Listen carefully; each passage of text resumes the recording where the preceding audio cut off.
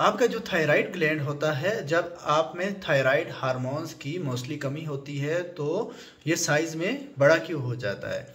यानी गाइटर या गिलड़ क्यों बनता है?